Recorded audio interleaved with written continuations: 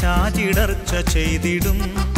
ഭീതി വേണ്ട ദൂതരുണ്ടു കാത്തുകൊള്ളുവാൻ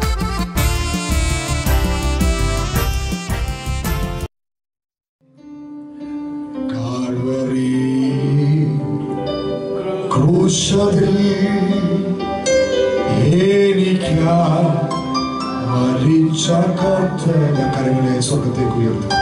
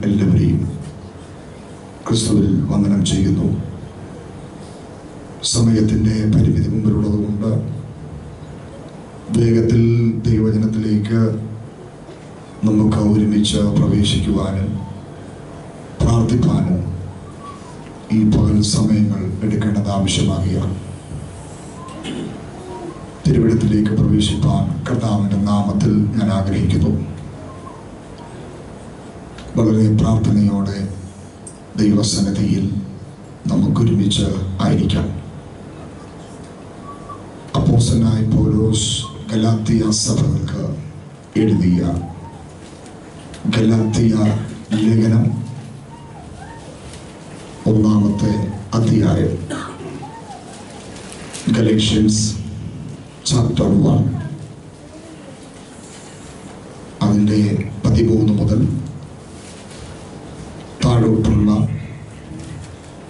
ഏകദേശം പതിനെട്ട് വരെയുള്ള ഭാഗങ്ങൾ ദൈവവചന ധ്യാനത്തിനായി ഇവിടെ വായിക്കും യഹൂദ മതത്തിലെ എന്റെ മുമ്പത്തെ അനുഭവം ഞാൻ കേ- നി- നിങ്ങൾ കേട്ടിട്ടുണ്ടല്ലോ.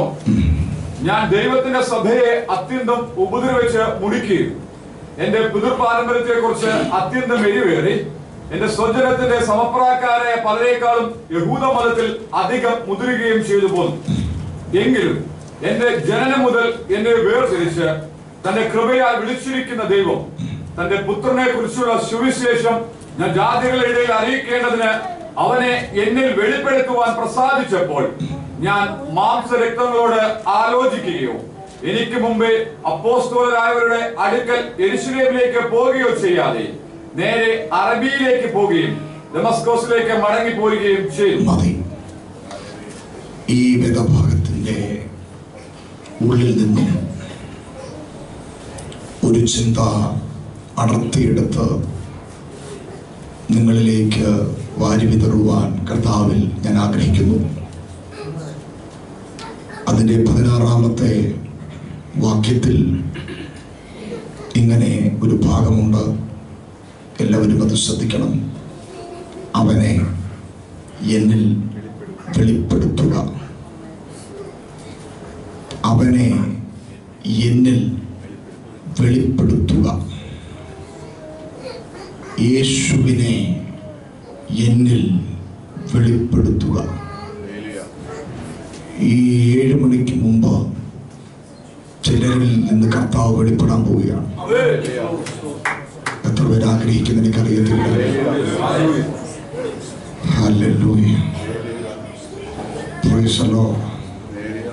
കർത്താവ് ഇന്ന് പകൽ ചിലരിൽ മേൽ വെളിപ്പെടാൻ പോവുകയാണ്. അത് പ്രാപിക്കാൻ വേണ്ടിയിരിക്കണം. പ്രസംഗം നോക്കിയിരിക്കരുത്. പ്രസംഗത്തിന്റെ വാക്കുകൾ നോക്കിയിരിക്കരുത് അത് പ്രാപിക്കാനിരിക്കണം. സ്തോത്രം. വളരെ ആധികാരികമായി സമയങ്ങൾ എടുത്ത് സംസാരിക്കേണ്ട വിഷയമാണ്. ലളിതമായി ഞാൻ പോകുന്നു. വിവിധ പ്രായത്തിലുള്ളവർ ഈ മീറ്റിംഗിലുണ്ട് പ്രായം എന്ന് പറയുന്നത് ശാരീരിക പ്രായമല്ല. ആത്മീയ പ്രായം. കട്ടിയുള്ള ആഹാരം കഴിക്കാനിരിക്കുന്നവരുണ്ട്. പാൽ കുടിക്കാൻ മാത്രം പ്രായമായവരുണ്ട്. എല്ലാവരെയും ഉൾപ്പെടുത്തിക്കൊണ്ട് വേണം ഇന്ന് പകൽ പോകാൻ. അതുകൊണ്ട് ശാന്തമായിട്ട് ഞാൻ പോകാം. ശ്രദ്ധിച്ചിരിക്കണം.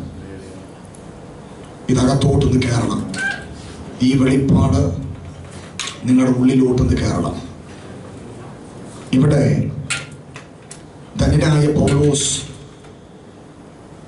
തന്നാൽ രചിക്കപ്പെട്ട ലേഖന പരമ്പരകളിൽ എന്തോ ഭയങ്കര മുഴക്കം. ഒന്ന് ഭാസത്തിൽ ഒന്ന് കുറച്ച്. ലേഖന പരമ്പരകളിൽ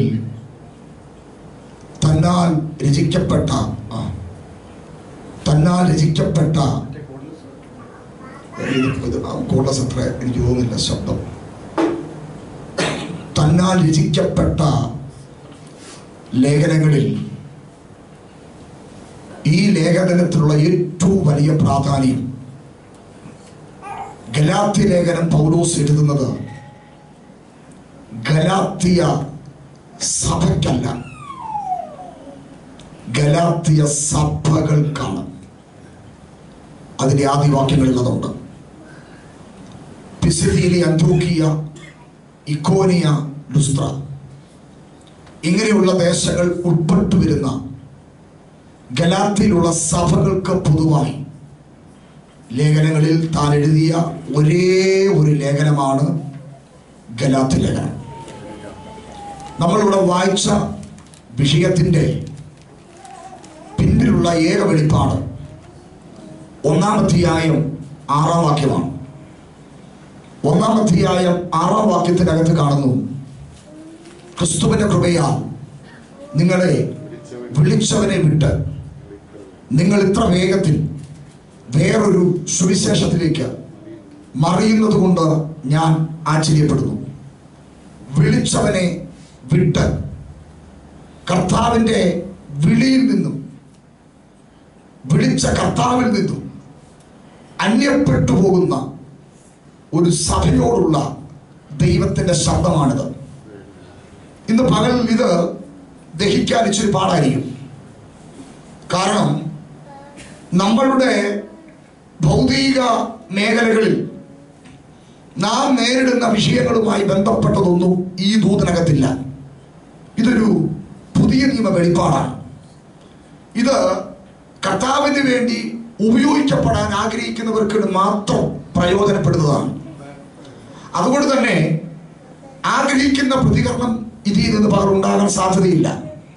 അവർ ചിലരെ ഇന്ന് പകൽ ഈ വചനം ശക്തമായി പണിയും. ഞാൻ അതുകൊണ്ട് കൂടുതൽ ആവേശങ്ങളില്ലാതെ ശാന്തമായി പോവുക കാര്യം ഇത് നിങ്ങളുടെ ഹൃദയത്തിൽ ചെല്ലണം. അപ്പോൾ കർത്താവിന്റെ വിളിയിൽ നിന്ന് ആ കോളിംഗിൽ നിന്ന് അന്യപ്പെട്ടുപോയ ഒരു സമൂഹത്തെ കർത്താവിന്റെ കോളിംഗിലേക്ക് മടക്കിക്കൊണ്ടുവരിക. എന്തിനാണ് യേശു നമ്മെ വിളിച്ചത്. അതാണ് എന്റെ ടൈറ്റിൽ എന്ത് ഉദ്ദേശത്തോടു കൂടെ കർത്താവ് നമ്മളെ വിളിച്ചു? പലപ്പോഴും ഇത് മനസ്സിലാകാതെ കൊട്ടിപ്പാടാനും ചാടി മറിയാനും ഒക്കെ ഒരു കൂട്ടം സമൂഹം ഇന്ന് തയ്യാറായി നിൽക്കുന്നു. കർത്താവ് നമ്മളെ വിളിച്ചതെന്തിനാ രക്ഷിക്കപ്പെട്ട് സ്നാനപ്പെട്ട് വെള്ളിയാഴ്ച ആരാധന മുടക്കാതെ വന്നു.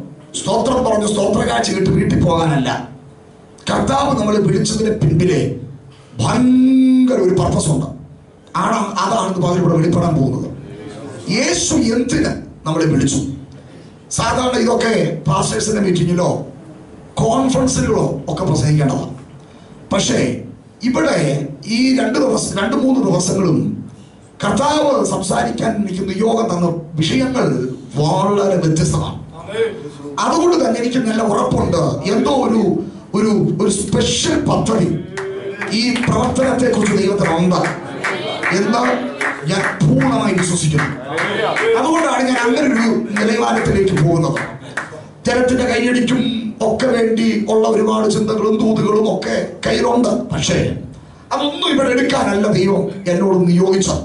ഞാൻ അതുകൊണ്ട് അങ്ങനെ പോകാൻ അപ്പോൾ കർത്താവിന്റെ കോളിങ്ങിലേക്ക് യഥാർത്ഥത്തിൽ എന്തിന് കർത്താവ് വിളിച്ചു എന്ന് തിരിച്ചറിയാൻ പറ്റാതെ കടന്നു പോകുന്ന ഒരാത്മിക സമൂഹത്തെ ദൈവിക കോളിങ്ങിലേക്ക് തിരിച്ചു കൊണ്ടുവരിക ഒരു പോലീസുകാരൻ തനിക്ക് പോലീസിൽ ജോലി ലഭിച്ചത് സ്പോർട്സ് കോട്ട വഴിയാണ്.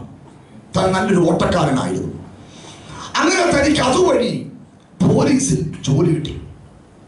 തന്റെ ഡ്യൂട്ടി ദൗത്യത്തിനിടയിൽ തനിക്കൊരു കള്ളനെ ഫോളോ ചെയ്യേണ്ട പിടിക്കേണ്ട പിടിക്കാൻ ഫോളോ ചെയ്യേണ്ട ഒരു സാഹചര്യം വന്നു. അങ്ങനെ ഈ പോലീസുകാരൻ ഈ കള്ളനെ പിടിക്കുവാനായിട്ട് കള്ളന്റെ പുറകിൽ ഫോളോ ചെയ്യുകയാണ്. കള്ളൻ മുമ്പിൽ ഓടുന്നു പോലീസുകാരൻ പുറകിൽ ഓടുന്നു. മുമ്പിൽ പുറകിൽ മുമ്പിൽ പുറകിൽ. ഇങ്ങനെ ഓടി കുറേ സമയങ്ങൾ കഴിഞ്ഞിട്ട് ഈ കള്ളനെ ഓവർടേക്ക് ചെയ്ത പോലീസുകാരൻ ഓടി ഓവർടേക്ക് ചെയ്ത ഓടിയിട്ട് തിരിഞ്ഞു നിന്ന് പറയുക ഞാൻ ജയിച്ചെന്ന്. മനസ്സിലായവർക്കായി ഞാൻ ജയിച്ചേ ഞാൻ ജയിച്ചേ. പോലീസുകാരാ നീ എന്തിനാണ് ഓടിയത്? കള്ളനെ പിടിക്കാനാ. ഓട്ടത്തിൽ ജയിക്കാനല്ല അവൻ ഓടിയത് ഓടിയത് കള്ളനെ പിടിക്കാനാ. ഇടയിൽ പഴയ സ്പിരിറ്റ് കയറി. ഏത് സ്പിരിറ്റ് സ്പോർട്സ് സ്പിരിറ്റ് എന്നിട്ടിപ്പോ പുള്ളി പറയാ ഞാൻ ജയിച്ചെന്ന്. ഇതുപോലെ ദൈവമക്കളും ഏതാണ്ടൊക്കെ ചെയ്തിട്ട് പറയുക ഞാൻ ജയിച്ചേന്ന് ഇല്ലെന്ന് പുസ്തകത്തിൽ തെളിയിക്കാൻ പോവാ. ജയിച്ചിട്ടില്ല. ജയിക്കണമെങ്കിൽ അവന്റെ പർപ്പസിലേക്ക് എത്തണം. അവന്റെ കോളിങ്ങിലേക്ക് എത്തണം. അവന്റെ നിയോഗത്തിലേക്ക് എത്തണം. സ്തോത്രം. അതാണ് മകളെ സംസാരിക്കാൻ പോകുന്ന വിഷയത്തിന്റെ ആധികാരികത. ശ്രദ്ധിക്കണം ഇവിടെ പൗലോസ് തന്റെ ജീവിതത്തിന്റെ അനുഭവത്തെ വളരെ ആഴമായി തുറന്നു കാണിക്കുന്ന ഒരു ഭാഗമാണ്. ഒന്നാമത്തെ അധ്യായത്തിന്റെ പതിമൂന്നാമത്തെ വാക്ക് മുതൽ വായിക്കുമ്പോൾ പൗലോസ് തന്റെ ജീവിതത്തിന്റെ സാഹചര്യത്തെ തുറന്നു കാണിക്കുകയാണ്. താൻ എവിടെ നിന്ന് വന്നു? എങ്ങനെ വന്നു? അവയെന്നൊക്കെ ആ ഭാഗത്തിൽ വളരെ വ്യക്തമായി രേഖപ്പെടുത്തിയിട്ടുണ്ട്. പതിമൂന്നാമത്തെ വാക്യത്തിൽ വായിക്കുമ്പോൾ മനസ്സിലാക്കാൻ കഴിയുന്നു പൗലോസ് വന്നത് പൗലോസ് വിളിക്കപ്പെട്ടത് പൗലോസ് പുറത്തു വന്നത് ഒരു മതത്തിൽ നിന്നാണ്. ഉറക്കെ പറഞ്ഞാട്ടെ. ഒരു മതത്തിൽ നിന്നാണ് വന്നത്. എവിടെ നിന്നാണ് മതം മതം മതം. ആ മതത്തിന് അവിടെ ഒരു പേര് പറയുന്നുണ്ട്. ആ മതത്തിന് പറയുന്ന പേരാണ് യഹൂദ മതം. മറ്റു മതങ്ങളിൽ നിന്ന് ഏറ്റവും അനുഗ്രഹിക്കപ്പെട്ട ഏറ്റവും ഉന്നതമായ ഒത്തിരി പാരമ്പര്യങ്ങളുള്ള ഒത്തിരി ആചാരങ്ങളുള്ള തലയെടുപ്പോടെ നിൽക്കുന്ന ഒരു മതമാണ് യഹൂദ മതം. എന്നെ ശ്രദ്ധിച്ചാട്ടെ? യഹൂദ മതത്തിലെ ഒരു വ്യക്തി എന്ന് പറയുമ്പോൾ അത് ചെറിയ കാര്യമല്ല. അതൊന്നും ഞാൻ വിശദീകരിക്കുന്നില്ല. അപ്പോൾ പൗലോസ് യഹൂദ മതത്തിൽപ്പെട്ട വ്യക്തിയായിരുന്നു യഹൂദ മതത്തിൽ നിന്ന് പൗലോസ് പൗലോസ് കർത്താവിനാൽ വിളിക്കപ്പെടുമ്പോൾ യഹൂദ മതത്തിൽ നിന്ന് പൗലോസിനെ കർത്താവ് വിളിക്കുമ്പോൾ ഈ മനുഷ്യൻ വേറൊരു മതത്തിലേക്കല്ല വന്നത്. യഹൂദ മതത്തിൽ നിന്ന് ഈ മനുഷ്യൻ വന്നത് എവിടേക്കെന്നറിയാമോ? എവിടേക്കെന്നറിയാമോ? അപ്പോസ്തല പ്രവർത്തി ഒൻപതാമത്തെ അധ്യായം. അതിന്റെ ആദ്യ ഭാഗങ്ങൾ. വേഗത്തിൽ വായിച്ചു വിടാം. അപ്പോസ്തല പ്രവർത്തി ഒൻപതാമത്തെ അധ്യായം ആദ്യ ഭാഗങ്ങൾ. വായിച്ചാട്ട് വേഗത്തിൽ. ശൗൽ കർത്താവിന്റെ ശിഷ്യന്മാരുടെ നേരെ ഭീഷണിയും കൊലയും നിശ്വസിച്ചുകൊണ്ട് മഹാപുരോഹിതന്റെ അടുക്കൽ ചെന്നു. ഡെമസ്കോസിൽ ഈ മാർഗക്കാരൻ ഈ മാർഗം ശ്രദ്ധിച്ചു കേൾക്കണം. ഒരു മതത്തിൽ നിന്ന് പൗലോസ് ഇപ്പോൾ അവൻ വന്നിരിക്കുന്നത് ഒരു മാർഗത്തിലേക്കാണ്. മനസ്സിലാകുന്നവർക്കായി സ്തോത്രം. അവിടെ വായിക്കുന്നത് ദൈവജനത്തെ ഒറ്റ വാക്കിൽ പരിശുദ്ധാത്മ പരിചയപ്പെടുത്തുന്നു. ഈ മാർഗം. ഉറക്കെ പറഞ്ഞോട്ടെ. ഏത് മാർഗമാണ്? എ മാർഗമല്ല ബി മാർഗമല്ല സി മാർഗമല്ല ഡി മാർഗമല്ല പിന്നെന്ത് മാർഗം? ഈ മാർഗം അല്ല അങ്ങനല്ല. ഈ അല്ല എന്റെ അർത്ഥം. ഈ മാർഗം. ഏതാ ഈ മാർഗം? ഈ മാർഗം ഏതാ? ഈ മാർഗം. ഇപ്പൊ ഇരിക്കുന്ന മാർഗം. എന്ന് വെച്ചാൽ രക്ഷിക്കപ്പെട്ട് സ്നാനപ്പെട്ട് ദൈവം പ്രാപിച്ച് സത്യത്തിനും ആത്മാവിലും ദൈവത്തെ ആരാധിക്കുന്ന മാർഗം. അതാണ് ഈ മാർഗം. ശ്രദ്ധിക്കണം ഞാനൊരു വിഷയത്തെ ഒന്ന് കൊണ്ടുവരിക നിങ്ങളുടെ മുമ്പിൽ. ഒരു മതത്തിൽ നിന്ന് ഒരു മാർഗത്തിലേക്ക് വരികയാണ്. ശരിക്കും പേര് പോലുമില്ല. ഈ മാർഗം ഒന്ന് നമ്മളങ്ങ് വിളിക്കുക. ശരിക്കും പേരൊന്നും ഇല്ലാത്തൊരു മാർഗമാണ്. കേൾക്കണേ? മറ്റേതിനകത്ത് പേരുണ്ട്. എന്തോ പേര്? യഹൂദ മതം എന്ന് പറയുമ്പോ വികാരപരിതനായി തീരാൻ ഒത്തിരി കാര്യങ്ങളുണ്ട്. എന്നാൽ അതൊന്നും ഇല്ലാത്ത ഒരു തലത്തിലേക്ക് പൗലോസിനെ ഇപ്പോൾ ദൈവാത്മാവ് വിളിച്ചു കൊണ്ടുവരുന്നത്. ഇനി കേൾക്കുക. യഹൂദ മതത്തിലുള്ളതൊന്നും ഈ മാർഗത്തിലില്ല. മനസ്സിലാകുന്നുണ്ടോ?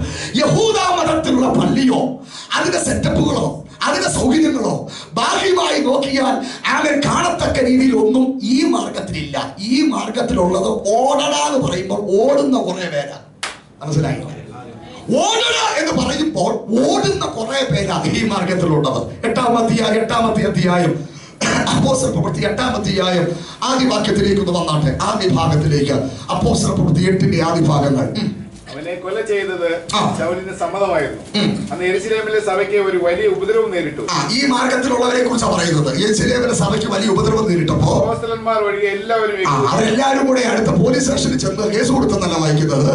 അവർ അവരെല്ലാരും കൂടെ അവിടുത്തെ രാഷ്ട്രീയ പ്രവർത്തകരെ കണ്ട് സ്വാധീനിച്ചെന്നല്ല വായിക്കുന്നത്. ഗുണ്ടകളെ ഇറക്കി തിരിച്ചടിപ്പിക്കുന്നല്ല വായിക്കുന്നത്.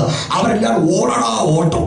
മനസ്സിലാകുന്നവർക്കായി സ്തോത്രം അപ്പൊ ഈ മാർഗത്തിന്റെ കാര്യം മനസ്സിലായോ? ഈ മാർഗത്തിന്റെ വെളിപ്പാട് മനസ്സിലായോ? ഈ മാർഗം എന്ന് പറയുമ്പോൾ ഓടട എന്ന് പറയുമ്പോൾ ഓടുന്ന മാർഗമാണ്. മനസ്സിലാക്കുന്നവർക്കായി സ്തോത്രം എന്ന് വെച്ചാൽ പ്രത്യേകിച്ചൊന്നും എടുത്തു പറയാനില്ലാത്തൊരു മാർഗം. ശ്രദ്ധിക്കണം യഹൂദ മതത്തിൽ നിന്ന് യഹൂദ മതത്തെ പോലെ തലയെടുത്തു നിൽക്കുന്ന പശ്ചാത്തലത്തിനകത്ത് നിന്ന് ഒരു തലയെടുപ്പില്ലാത്തൊരു മാർഗത്തിലേക്ക് വിളിച്ചു വിളിച്ചുകൊണ്ട് വന്നിരിക്കുന്നത്. അതാ നിന്നോട് പലരും ചോദിക്കുന്നത് എന്റെ കുഞ്ഞമോൻ ബ്രദറെ എന്റെ ജോയ്സ് ബ്രദറെ എന്റെ ലീലാമ സഹോദരി എന്തോ കണ്ടിട്ടാണ് നീ അങ്ങോട്ട് പോയേ?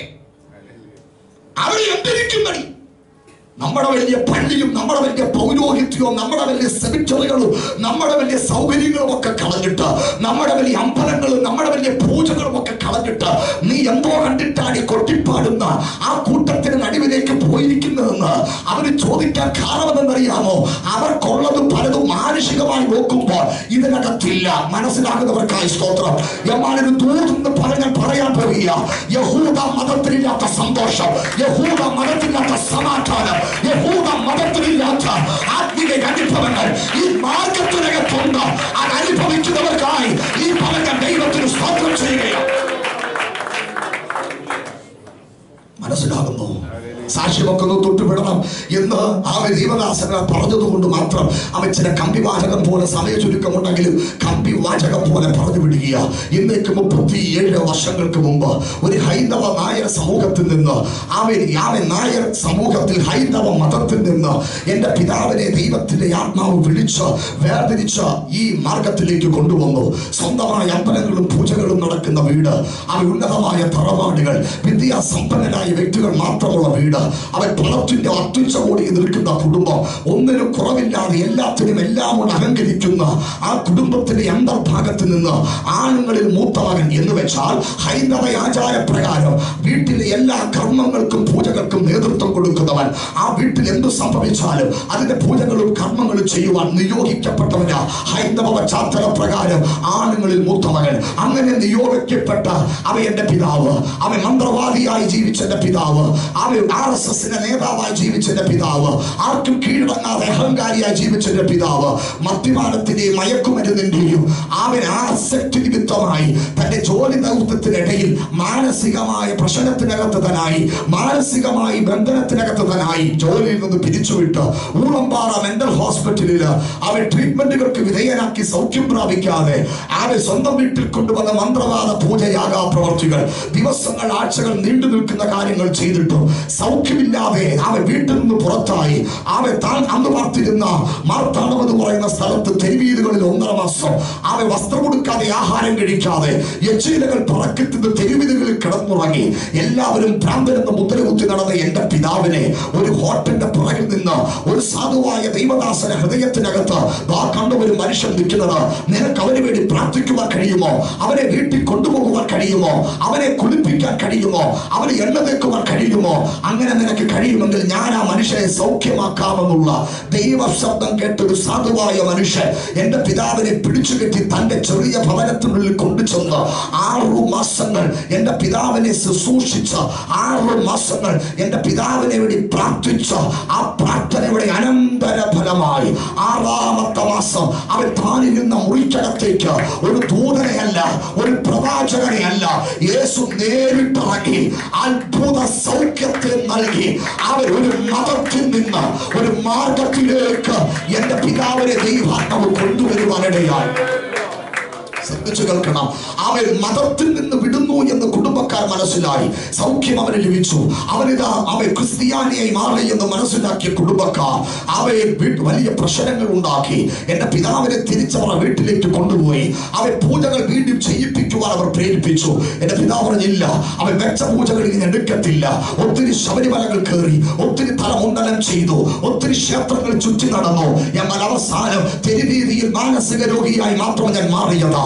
എന്നെ സൗഖ്യമാക്കുവാൻ ഒരു മതത്തിനും കഴിഞ്ഞില്ല. പക്ഷേ അവ എനിക്കും നിങ്ങൾക്കും പരിചയമില്ലാത്ത യേശു ക്രിസ്തു എന്നെ സൗഖ്യമാക്കിയത് കൊണ്ട് ഞാൻ യേശുവിന് വേണ്ടി ജീവിക്കും. തന്റെ തീരുമാനം ശക്തമായിരുന്നു. അവൻ ശ്രദ്ധിച്ചു വെക്കണം. അവൻ മതത്തിൽ നിന്നൊരു മാർഗത്തിലേക്ക് മാറുവാൻ താൻ ആഗ്രഹിച്ച നിമിത്തമായി തനിക്ക് കിട്ടിയത് പട്ടുമത്തയല്ല. തനിക്ക് കിട്ടിയത് അനുഗ്രഹത്തിന്റെ അവ വൻമഴയല്ല. തനിക്ക് ലഭിച്ചത് കഷ്ടവും നഷ്ടവും വേദനയും മാത്രമായിരുന്നു. അവ കണക്കിന് സ്വത്തുക്കളുടെ ഉടമയായ എന്റെ പിതാവിന് ഒരു സെന്റ് ഭൂമി പോലും അമ്മ സ്വന്തമായി കൊടുക്കാതെ പഠിച്ച സർട്ടിഫിക്കറ്റുകൾ മുഴുവനും അവ വിളക്കിന്റെ മുമ്പിൽ അവൻ പേര് പറഞ്ഞ് കത്തിച്ച് ചമ്പലാക്കി. അവ തിരുവനന്തപുരം ശ്രീപത്മനാഭ സ്വാമി ക്ഷേത്രത്തിൽ അദ്ദേഹത്തിന്റെ ഒരു രൂപം അവിടെ അവ ഒറ്റക്കല്ലിൽ വാർത്തു പ്രതിഷ്ഠിച്ച ഇങ്ങനൊരു മകനില്ല. അവൻ മരിച്ചത് വിധിയെടുത്തു നടത്തി. ഹൈന്ദവ ഭാഷയിൽ ഭവനത്തിന്റെ ഉള്ളിൽ നിന്ന് എന്നേക്കുമായി അടിച്ച് പുറത്താക്കി. അവ ഇട്ടിരുന്ന പാൻസും ഉടുപ്പും ആ പാസ്റ്റർ കൊടുത്തൊരു കൊച്ചു ബൈബിളുമായി. അവൻ മാർത്താണ്ഡത്തിൽ നിന്ന് തിരുവല്ല വരെ പൈപ്പിന്റെ വെള്ളം കുടിച്ച ഒരു ദൈവദാസൻ കൊടുത്ത അഡ്രസ്സിൻ പ്രകാരം എത്തി ഒരു ദൈവദാസൻ അടുക്കൽ അഭയം തേടി. ആ ദൈവദാസൻ അടുത്തൊരു ബൈബിൾ കോളേജിലേക്ക് എന്റെ പിതാവിനെ പഠിക്കുവാനായി കൊണ്ടുപോയി. ഇന്ന് പകൽ ഞാൻ വിളിച്ചു പറയാം ദൈവത്തിന്റെ പൈതലെ ഒരു മതത്തിൽ നിന്ന് ഒരു മാർഗത്തിലേക്ക് വന്നപ്പോൾ തന്റെ ജീവിതത്തിൽ നട്ടങ്ങളെയും കട്ടങ്ങളെയും പട്ടിണിയുടെയും പരമ്പരകളായിരുന്നു. പക്ഷെ നഷ്ടങ്ങൾക്കും കട്ടങ്ങൾക്കും അത് തന്നെ ഒതുക്കുവാൻ കഴിഞ്ഞില്ല. എന്തെന്നറിയാമോ? മതത്തിൽ നിന്ന് കിട്ടാത്തൊരു സന്തോഷം മതത്തിൽ നിന്ന് കിട്ടാത്തൊരു സൗഭാഗ്യം മതത്തിൽ നിന്ന് കിട്ടാത്തൊരു സമാധാനം. മനുഷ്യന്റെ ജീവിതത്തിൽ താൻ പ്രാപിച്ചെടുക്കുവാനിടയായി. ഇന്ന് പകൽ ഇതിനകത്ത് വന്നിരിക്കും ഒരുപാട് പുതിയ വ്യക്തികളുണ്ട്. ഞാനൊരു കാര്യം എഴുതി ഒപ്പിട്ട് തരാം. നീ ഒരു മതത്തിൽ നിന്ന് ഈ മാർഗത്തിലേക്ക് വരുമ്പോൾ പ്രശ്നങ്ങൾ ഒന്ന് പ്രശ്നങ്ങൾ രണ്ട് പ്രശ്നങ്ങൾ മൂന്ന്. നിശ്ചയമായും തലപൊക്കും. നിന്റെ വീട്ടിനകത്തുള്ള വ്യക്തികൾ എഴുന്നേക്കും നിന്റെ അപ്പൻ എഴുന്നേൽക്കും അമ്മ എഴുന്നേൽക്കും ഭാര്യ എഴുന്നേൽക്കും കുഞ്ഞുങ്ങൾ എഴുന്നേൽക്കും. ആ എഴുന്നേൽക്കേണ്ടവരെല്ലാം എഴുന്നേൽക്കും. പക്ഷെ ഇന്ന് പകൽ ഞാനൊരു കാര്യം അനുഭവത്തിന്റെ വെളിച്ചത്തിൽ ഉറച്ചു പറയാ ആരൊക്കെ എഴുന്നേറ്റാലും വിട്ടുകൊടുക്കാതെ നീ പിടിച്ചു നിൽക്കാൻ താല്പര്യപ്പെട്ട അവരുടെ നടുവിൽ നിന്നെ ആദരിക്കുന്ന നിന്നെ ഉയർത്തുന്ന ഒരു ദൈവമുണ്ട്. രക്തത്താലും വചനത്താൽ ജയമെടുക്കുകയാണ്. എന്റെ പിതാവിന്റെ ഭവനത്തിൽ ഇന്നും അവ ബാക്കിയുള്ളവരല്ല. അവ നായന്മാരായി ഹൈന്ദവ ആചാര അനുഷ്ഠാനങ്ങൾ ചെയ്ത് ജീവിക്കുന്നെങ്കിലും അവൻ ആ കുടുംബത്തിൽ ഒന്നാമതാക്കി ദൈവങ്ങളെ മാറ്റി. ആ കൂടാരത്തിനകത്ത് ഒരു ചെറു വിര ചലിക്കണമെങ്കിൽ അത് ഞങ്ങൾ മുഖേന മാത്രമേ ചലിക്കത്തുള്ളൂ. ആ കൂടാരത്തിനകത്തൊരു വിവാഹം നടക്കണമെങ്കിൽ ഞങ്ങൾ പറയുന്ന ദിവസത്തെ നടക്കത്തുള്ളൂ. ആ ഭവനത്തിനകത്ത് ഒരു വീട് പ്രതിഷ്ഠ നടക്കണമെങ്കിൽ ഞങ്ങൾ പറയുന്ന ദിവസത്തെ നടക്കത്തുള്ളൂ. അവരുടെ മുഹൂർത്തമല്ല വിഷയം ഞങ്ങളുടെ ദിവസമാ വിഷയം. അവൻ മനസ്സിലാകുന്നവർക്കായി സ്തോത്രം. ഒരിക്കലും ഹിന്ദുക്കൾ അവിടെ മുഹൂർത്തം നോക്കാതെ രാഹുകാലം നോക്കാതെ കാര്യം നടത്തത്തില്ല. പക്ഷെ ഇന്നെന്താ സംഭവിക്കുന്ന അറിയാമോ മുഹൂർത്തം ഒരു സൈഡിൽ കിടക്കും. ഞങ്ങൾ പറയുന്ന ദിവസത്തിലെ കാര്യം നടക്കത്തുള്ളൂ. ഇന്ന് മുതൽ അവൻ ഒരു ദിവസം കൊണ്ട് ഒന്നും ഇത് കിട്ടിയതല്ല കേട്ടോ. വർഷങ്ങൾ വില കൊടുക്കേണ്ടി വന്നു. വർഷങ്ങൾ കാത്തിരിക്കേണ്ടി വന്നു. വർഷങ്ങൾ വേദനിക്കേണ്ടി വന്നു. ഇന്ന് മുതൽ ഞാൻ വിളിച്ചു പറയാം സഹോദരങ്ങളെ ഒരു മതത്തിൽ നിന്ന് ഒരു മാർഗത്തിലേക്ക് വരുമ്പോ അവ ജീവിതം സുഖമാണെന്ന് ഞാൻ പ്രസംഗിക്കത്തില്ല. പക്ഷെ ഏത് വെല്ലുവിളികൾ വന്നാലും അതിനെ ജയിക്കത്തക്ക രീതിയിൽ നിന്നെ വിളിച്ചവൻ നിന്നെ ശക്തീകരിക്കും. നിന്നെ വിളിച്ചവൻ നിന്നെ ബലപ്പെടുത്തും. അതിന് യാതൊരു സംശയവുമില്ല. അതിന് യാതൊരു സംശയവുമില്ല. ഞാൻ വിഷയത്തിലേക്ക് മടങ്ങി വരാം. ഭൂതാമതത്തിൽ നിന്ന് ഈ മാർഗത്തിലേക്ക് പൗലോസ് എന്ന് പറയുന്ന മനുഷ്യനെ ദൈവാത്മാവ് കൊണ്ടുവരികയാണ്. ആ വാക്യങ്ങൾ ഒന്നും കൂടെ ഞാൻ വ്യക്തമാക്കി പറഞ്ഞു പോകാം. അവിടെ ഇങ്ങനെയാണ് കാണുന്നത്. യഹൂദ മതത്തിൽ നിന്ന് എന്റെ മുമ്പിലത്തെ നടപ്പ് നിങ്ങൾ കേട്ടിട്ടുണ്ട്? ഞാൻ ദൈവത്തിന്റെ സഭയെ അത്യന്തം ഉപദ്രവിച്ചു മുടിക്കുകയും എന്റെ പൃഥുപാരമ്പര്യത്തെ കുറിച്ച് അത്യന്തം എരിവേറി. എന്റെ സ്വജനത്തിൽ സമപ്രായക്കാരായ പലരെക്കാളും യഹൂദ മതത്തിൽ അധികം മുതിരുകയും ചെയ്തു. പഴയ ഹിസ്റ്ററിയാണ് പതിനഞ്ചാമത്തെ വാക്യം എങ്കിലും എന്റെ ജനനം മുതൽ എന്നെ വേർതിരിച്ച കൃപയാൽ വിളിച്ചിരിക്കുന്ന ദൈവം. എന്റെ ജനനം മുതൽ എന്നെ വേർതിരിച്ച കൃപയാൽ വിളിച്ചിരിക്കുന്ന ദൈവം. ഒരു ആത്മീക സത്യത്തെ ഞാൻ തുറക്കുക. ശ്രദ്ധിക്കണം. യഹൂദ മതത്തിൽ നിന്ന് ഈ മാർഗത്തിലേക്ക് പൗലോസു വരാനിടയായ കാരണം എന്താ? ഇന്ന് പലരും ഈ ക്രിസ്തീയ ദൈവീക ആത്മീയ അനുഭവത്തിലേക്ക് പലരും വരാനുള്ള കാരണങ്ങൾ പലതാണ്. ചിലർക്ക് രോഗം വന്നു. ചിലർക്ക് കടഭാരം വന്നു. ചിലർക്ക് പിടിച്ചു നിൽക്കുവാൻ കഴിയാത്ത ജോലി പ്രശ്നങ്ങൾ വന്നു. ഇങ്ങനെയൊക്കെയാണ് കൂടുതൽ ആൾക്കാർ ആരാധനകളിലേക്കും പ്രാർത്ഥനകളിലേക്കും ആത്മീയ അനുഭവങ്ങളിലേക്കും കടന്നു വരുന്നത്. അല്ലാതെ വരുന്നവരൊക്കെ വളരെ കുറച്ച് ആൾക്കാരാണ് എന്തെങ്കിലുമൊക്കെ പ്രശ്നം നിമിത്തമാണ് വരുന്നത്. ഒന്നുകിൽ രോഗമായിരിക്കാം ഹോസ്പിറ്റലിൽ കയറി ഇറങ്ങി സൗഖ്യമില്ല. അല്ലെങ്കിൽ കടഭാരമായിരിക്കാം എന്തൊക്കെ ചെയ്തിട്ടും പ്രയോജനമില്ല. അല്ലെങ്കിൽ ഒറ്റപ്പെടുത്തു ജീവിതത്തിന്റെ ഏതെങ്കിലും സാഹചര്യങ്ങൾ കൂടെ കടന്നുപോയിട്ട് നിലനിൽക്കാൻ കഴിയാതെ വരുമ്പോൾ ആയിരിക്കാം അവൻ ഇങ്ങനെ ഒരു വഴിത്തിരിവിലേക്ക് തിരിയുവാൻ പലരെയും പ്രേരിതമാക്കുന്നത്. പക്ഷേ പൗലോസ് എന്ന് പറയുന്ന മനുഷ്യൻ മതത്തിൽ നിന്ന് മാർഗത്തിലേക്ക് വന്നത് രോഗസൗഖ്യത്തിന് വേണ്ടിയല്ല. യഥാർത്ഥത്തിൽ യഥാർത്ഥത്തിൽ വചനം പഠിച്ചാൽ മനസ്സിലാകും. പൗലോസ് എന്ന് പറയുന്ന മനുഷ്യൻ ശരിക്കും രോഗിയായത് മനസ്സിലാകുന്ന ഭാഷയിൽ പറയാം. പെന്തക്കോസ് വന്നിട്ട് അതുവരെ വലിയ പ്രശ്നമൊന്നും ഇല്ല. പെന്തക്കോസി വന്നതോടുകൂടെ മുള്ളു കയറി. പെന്തക്കോസി വന്നതോടുകൂടെ ശരിക്കും പുള്ളി രോഗിയാകുന്നത്. അപ്പോ ആ മതത്തിൽ നിന്ന് ഈ മാർഗത്തിലേക്ക് വന്നത് രോഗസൗഖ്യത്തിന് വേണ്ടി അല്ല രണ്ട്. കടഭാരം മാറാനല്ല ഇട്ടു മൂടാനുള്ളത് ഇട്ടു മൂടാനുള്ളത് അപ്പനുണ്ട്. ഭയങ്കര കോടീശ്വര പ്രഭുവാണ്. അതുകൊണ്ട് സാമ്പത്തികമായ ഒരു പ്രശ്നത്തിലും അതിന്റെ മേൽ വിടുതലിലുമല്ല ഇദ്ദേഹം ഈ മാർഗത്തിലേക്ക് വന്നത്. ഇത് വിദ്യാഭ്യാസത്തിന്റെ പരാജയത്തിലാണോ ചരിത്രത്തിൽ പറയുന്നത്? തർസോസിന്റെ മൂന്ന് ഡോക്ടറേറ്റ് ഈ മനുഷ്യനുണ്ടെന്നാണ് തർസോസിന്റെ അത് മൂന്ന് ഡോക്ടറേറ്റ് ഈ മനുഷ്യനുണ്ട് അപ്പൊ വിദ്യാഭ്യാസത്തിന്റെ പരാജയവുമല്ല ഈ മനുഷ്യൻ ഈ മാർഗത്തിലേക്ക് വന്നത്. എന്ന് വെച്ചാൽ നമ്മളിൽ പലരും വന്നതുപോലല്ല പൗലോസ് വന്നത്. അല്പം വ്യത്യാസം അതിനുണ്ട് ശ്രദ്ധിച്ചു കേൾക്കണം എന്നെ വല്ലാതെ ചിന്തിപ്പിച്ച് രോഗം വന്നിട്ടില്ല കടവാരം വന്നിട്ടില്ല വിദ്യാഭ്യാസത്തിൽ പരാജയം വന്നിട്ടില്ല വീട്ടിൽ ഒറ്റപ്പെടുത്തിയിട്ടില്ല. പിന്നെന്തിനാ ഈ മനുഷ്യൻ ഈ വലിയ മതം വിട്ട് ഈ മാർഗത്തിലേക്ക് വന്നത്? എന്ന് ഞാൻ ധ്യാനിച്ചപ്പോഴാണ് എനിക്കൊരു കാര്യം മനസ്സിലായത്. അതാ പൗലോസ് അവിടെ വെളിപ്പെടുത്തുന്നത്. ജനനം മുതൽ അവൻ എന്നെ വേർതിരിച്ചു. എന്റെ ജനനം മുതൽ അവൻ എന്നെ എന്ത് ചെയ്തു? വേർതിരിച്ചു എന്ന് ഒരു വാക്യം നിങ്ങൾ അതിനകത്ത് കണ്ടോ? എന്ന് വെച്ചാൽ പൗലോസിനോടുള്ള ബന്ധത്തിൽ ഒരു വേർതിരിവ് അവന്റെ ജീവിതത്തിൽ കിടപ്പുണ്ട്.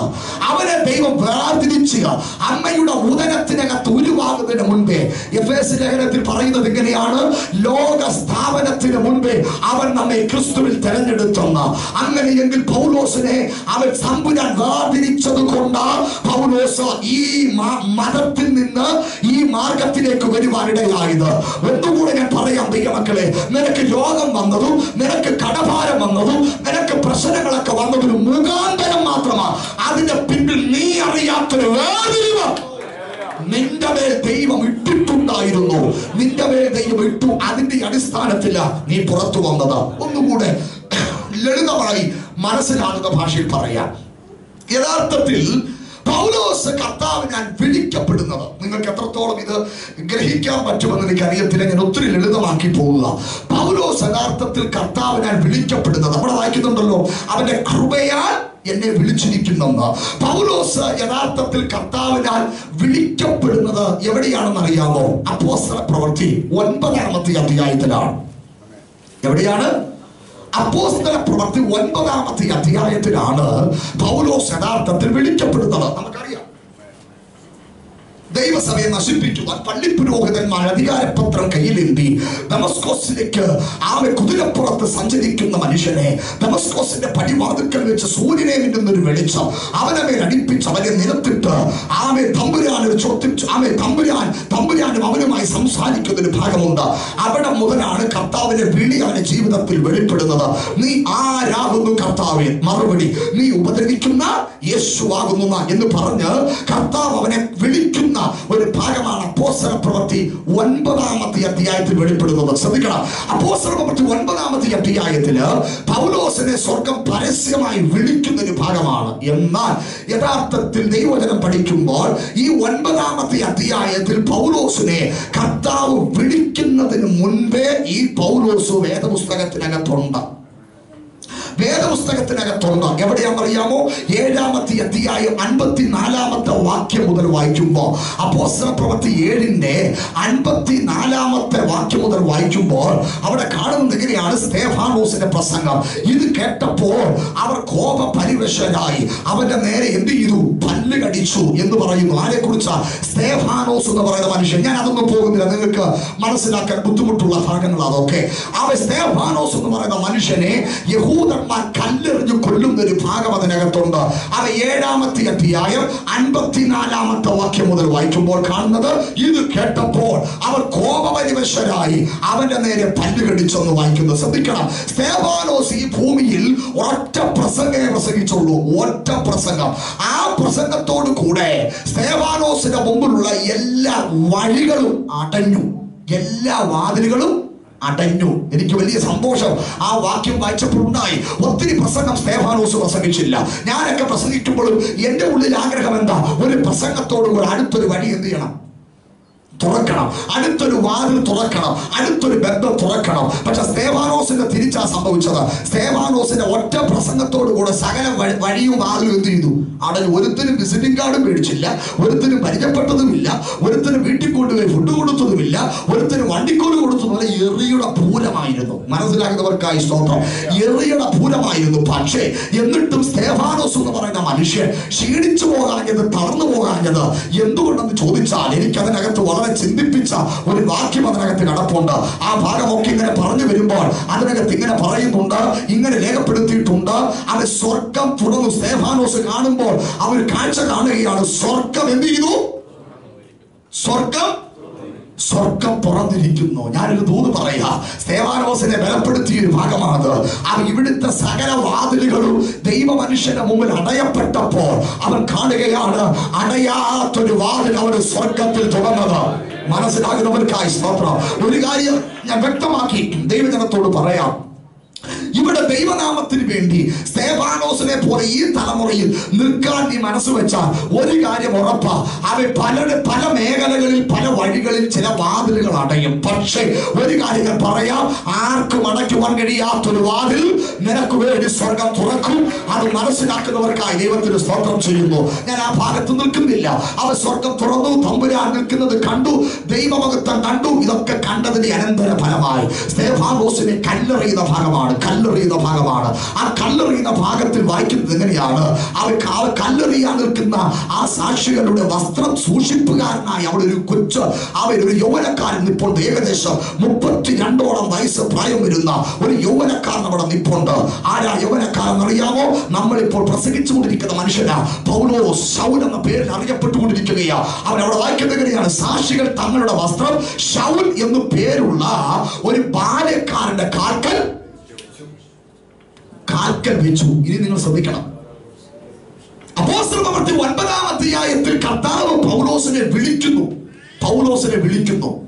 പൗലോസിനെ വിളിക്കുന്നു. എന്നാൽ ഏഴാമത്തെ യാഗത്തിന്റെ അൻപത്തി അവ എട്ടാമത്തെ വാക്യത്തിൽ ഏഴാമത്തെ യാഗത്തിന്റെ അൻപത്തി എട്ടാമത്തെ വാക്യത്തിൽ പൗലോസ് പൗലോസ് ആ ദൈവദാസനായ സ്തേഫാനോസിനെ കൊല്ലുവാൻ ആഗ്രഹിച്ചവരുടെ വസ്ത്രം കാത്തുകൊണ്ടിരിക്കുകയാ. വസ്ത്രം കാത്തുകൊണ്ടിരിക്കുകയാ. ശ്രദ്ധിച്ചു കേൾക്കണം. അവൻ സൗൽ എന്ന് പറയുന്ന മനുഷ്യൻ ഏഴാമത്തെ ആയത്തിൽ ഒരു ദൈവദാസനല്ല. സൗൽ എന്ന് പറയുന്ന മനുഷ്യൻ ദൈവ അവൻ ഏഴാമത്തെ ആയത്തിൽ ഒരു ആത്മീകനല്ല. ദൈവജനത്തെ ഉപദ്രവിക്കുവാൻ മാത്രം നിയോഗിക്കപ്പെട്ടവനാ ഏഴാമത്തെ ആയത്തിൽ സൗൽ എന്ന് പറയുന്ന മനുഷ്യൻ. ഞാനൊരു ദൂതെന്ന് പകൽക്കാലം വിളിച്ചു പറയാം ദൈവത്തിന്റെ മക്കളെ. കർത്താവിന്റെ അവൻ കോളിങ്ങിന് മുൻപേ കർത്താവിന്റെ കോളിങ്ങിന് മുൻപേ ദൈവത്തിന്റെ പദ്ധതിയിൽ ഈ മനുഷ്യനുണ്ട്.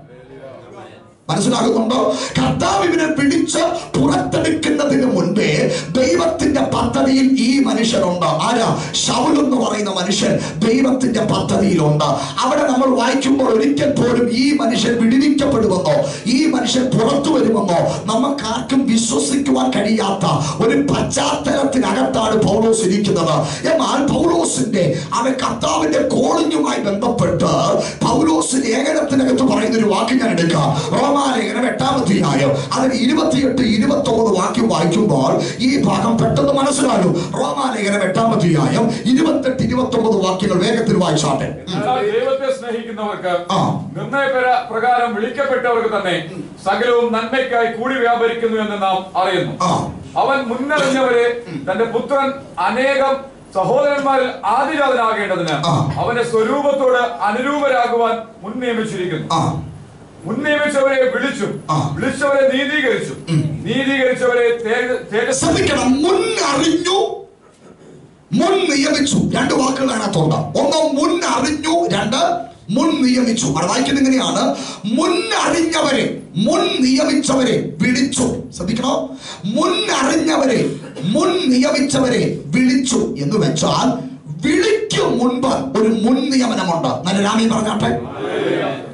അപ്പോസ്തല പ്രവൃത്തി ഒൻപതാം അധ്യായത്തിൽ ഏകദേശം മുപ്പത്തിരണ്ടാമത്തെ വയസ്സിലാണ് പൗലോസ് വിളിക്കപ്പെടുന്നത്. പക്ഷെ വിളിക്ക് മുമ്പ് എന്തുണ്ട്? ഒരു മുൻ നിയമനമുണ്ട് മനസ്സിലായില്ല? വിളിക്ക് മുൻപ് ഒരു തിരഞ്ഞെടുപ്പുണ്ട് ഒരു മുൻ നിയമനമുണ്ട് ഒരു മുൻ നിർണയമുണ്ട് ആ വാക്യം മാത്രം ഒന്നുകൂടെ വായിച്ചേ ആ വാക്യം മാത്രം ഒന്നുകൂടെ വായിച്ചേ. മുന്നറിഞ്ഞവരെ അവൻ മുന്നറിഞ്ഞവരെ തന്റെ പുത്രൻ അനേകം സഹോദരന്മാരിൽ മുന്നറിഞ്ഞവരെ മുന്നറിഞ്ഞവരെ. വായിച്ചേ. തന്റെ പുത്രൻ അനേകം സഹോദരന്മാരിൽ ആ. ആദ്യ ജാതനാകേണ്ടതിന് അവന്റെ സ്വരൂപത്തോട് അനുരൂപമാകുവാൻ. മുൻ നിയമിച്ചിരിക്കുന്നു. മുൻ നിയമിച്ചിരിക്കുന്നു. അടുത്തത്. മുൻ നിയമിച്ചവരെ വിളിച്ചു. മുൻ നിയമിച്ചവരെ വിളിച്ചു. വിളിച്ചു. വിളിച്ചവരെ നീതീകരിച്ചു. അപ്പൊ വിളിക്ക് മുമ്പ് എന്തുണ്ട്? കേൾക്കുന്നില്ല. കർത്താവിന്റെ വിളിക്ക് മുമ്പ് എന്തുണ്ട്? നിയമനമുണ്ട്. അപ്പോ പൗലോസിനെ കർത്താവ് ഒൻപതാം അധ്യായത്തിൽ വിളിക്കുന്നു. മുപ്പത്തിരണ്ട് വയസ്സും ഏകദേശം. മുപ്പത്തിരണ്ടാമത്തെ വയസ്സിൽ ഒൻപതാം അധ്യായത്തിൽ പൗലോസിനെ സ്വർഗം വിളിക്കുന്നു. എന്നാൽ ഏഴാം അധ്യായത്തിൽ പൗലോസ് സേവാനോസിനെ കൊല്ലുന്നവിടെ കാവൽക്കാരനായിരിക്കുന്നു. അപ്പൊ ഏഴാം അധ്യായത്തിൽ ഇരിക്കുന്ന പൗലോസ് നീ മുൻ അറിവുള്ള പൗലോസ. മുൻ നിയമനമുള്ള പൗലോസ. മനസ്സിലാകുന്നുണ്ടോ? മുൻ നിയമനമുള്ള പൗലോസാണ് ഏഴാം അധ്യായത്തിൽ ഇരിക്കുന്നത്. പക്ഷെ ഇത് ആർക്കും അറിയത്തില്ല. ഇതൊരൊറ്റ മനുഷ്യനറിയത്തില്ല. മുൻ നിയമനം കഴിഞ്ഞിട്ടാണ് എന്തു വരുന്നത്? വിളിക്കപ്പെടുന്നത്. പൗലോസിന്റെ മുൻനിയമനം നേരത്തെ കഴിഞ്ഞു. മുൻ നിയമനമുള്ളവരാണ് ഇപ്പോൾ അപ്പോസ്തല പ്രവൃത്തി ഏഴാം അധ്യായത്തിനകത്തിരിക്കുന്നത് മുൻ നിയമനമുള്ളവനെ ഒൻപതാം അധ്യായത്തിൽ തമ്മിൽ വിളിച്ചു. ഇന്ന് പകൽ ഇതിനകത്ത് കയറിയിരിക്കുന്ന ദൈവമക്കളോടൊരു ദൂത് ഞാൻ പറയാൻ പോവുക. ശ്രദ്ധിച്ചു കേട്ടോളാം അപ്പോസ്തല പ്രവർത്തി ഒൻപതാം അധ്യായം സ്വർഗം നിന്റെ കുടുംബത്തിനകത്ത് തുടരുവാൻ ആഗ്രഹിക്കുന്നു. അപ്പോസ്തല പ്രവർത്തി ഒൻപതാം അധ്യായം തമ്പുരാൻ നിന്റെ ദേശത്തിൽ തുടരുവാൻ ആഗ്രഹിക്കുന്നു. എന്താ ഒൻപതാം അധ്യായത്തിന്റെ പ്രത്യേകത? മുൻനിയമനമുള്ള അവ പലതും ദൈവിക വിളിക്കു മുമ്പിൽ പുറത്തു വരാൻ പോവുകയാണ്. മുൻ തെരഞ്ഞെടുപ്പുള്ള പലതും ദൈവിക വിളിക്കു മുമ്പിൽ പുറത്തു വരാൻ പോവുകയാണ്. വിശ്വസിക്കുന്നവർ ചേർന്ന് ശ്രദ്ധിച്ചു കേൾക്കണം. അപ്പൊ ഞാനും നിങ്ങളും ഒക്കെ എങ്ങനെയാ പുറത്തു വന്നേ? ഞാനും നിങ്ങളും എങ്ങനെയാ പുറത്തു വന്നേ? ദൈവദാസന്മാർ വന്നു നമുക്ക് വേണ്ടി പ്രാർത്ഥിച്ചു പ്രാർത്ഥി തന്നു സുവിശേഷം പറഞ്ഞു. അതൊക്കെ ഒരു ഭാഗം അതൊക്കെ ഒരു മുഖാന്തരം. നിങ്ങളൊക്കെ പുറത്തു വരാൻ കാരണം നിങ്ങളുടെ കുടുംബത്തിനകത്ത് ഇന്നും ഈ യേശുവിനെ അറിയാൻ ഈ മാർഗത്തിലേക്ക് വരാൻ പലരും തയ്യാറാകാതെ നിൽക്കുമ്പോൾ നിങ്ങൾ പുറത്തു വരാൻ കാരണമെന്നറിയാമോ? നിങ്ങൾ പോലും അറിയാതെ നിങ്ങളുടെ മേലൊരു മുൻ നിയമനം ഉണ്ടായിരുന്നു. ഒരു മുന്നറിവുണ്ടായിരുന്നു. ഒരു ഭൂതികം പറയാം ദൈവമക്കളെ മുന്നറിവും മുൻനിയമനവുമുള്ള അവൻ ശൗൽ എന്ന് പറയുന്ന മനുഷ്യൻ ഒൻപതാമത്തെ ആയത്തിൽ കർത്താവിന്റെ വിളിക്കു മുമ്പിൽ മുട്ടുകുത്തുക. മനസ്സിലാകുന്നുണ്ടോ? അവൻ ഒരിക്കൽ പോലും മുട്ടുകുത്തത്തില്ലെന്ന് വാദിച്ചവൻ ഒരിക്കൽ പോലും മുട്ടുകുത്താൻ സാധ്യതയില്ലാത്തവൻ കർത്താവിന്റെ വിളിക്കു മുമ്പ് മുട്ടുകുത്തുവാൻ ഇടയായെങ്കിൽ ഇന്ന് പകൽക്കാലം ഞാൻ ദൈവാത്മാവിൽ പറയാം തമ്പുരാന്റെ മുൻനിയമനത്തെയും തമ്പുരാന്റെ മുന്നറിവിനെയും തകർക്കുവാൻ ഈ ലോകത്തിൽ ഒരു ശത്രുക്ക് കഴിയത്തില്ല അവൻ മുന്നറിഞ്ഞെങ്കിൽ അവൻ മുൻ